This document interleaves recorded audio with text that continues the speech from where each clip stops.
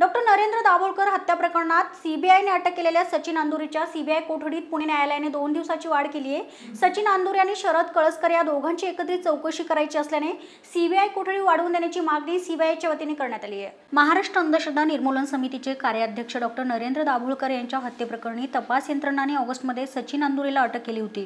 गुरुवारी अंदुरेला सीबीआयने पुणे न्यायालयात हजर केले. सरकारी वकिलांनी सचिनची सीबीआय कोठडी दोन दिवसांनी वाढून द्यावी अशी विनंती केली.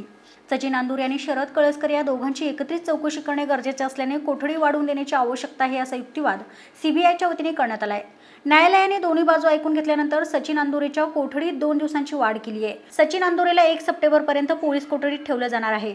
आज सीबीआई ने सचिन अंदुरे को प्रेजेंट किया कोर्ट में. सीबीआई ने फर्स्ट सितंबर तक उसकी कस्टडी मा, मा, पुलिस कस्टडी मांगने का कोर्ट से रिक्वेस्ट किया. ये फर्स्ट सितंबर तक की पुलिस कस्टडी मांगने के पीछे सीबीआई का आधार ये था कि सचिन अं- अंदुरे को वो शरद कलस्कर के साथ में कन्फ्रंट करना चाहते हैं, दोनों के साथ में इंट्रोगेशन करना चाहते हैं। ये उनका मेन कंटेंशन था। दूसरा कंटेंशन उनका ये था, गौरी लंकेश के कुछ अक्यूज के साथ में भी वो सचिन अंदुरे को कन्फ्रंट करना चाह रहे हैं, साथ में इंट्रोगेट करना चाह रहे हैं।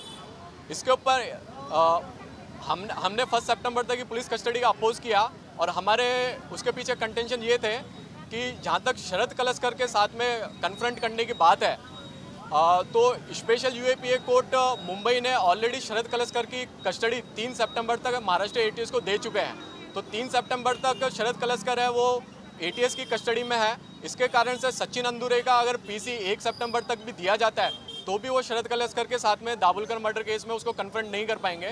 तो उनका ये जो कंटेंशन है, वो कहीं पे भी फ़र्स्ट सितंबर तक पुलिस कस्टडी देने के बाद में भी सर्व नहीं होने वाला है।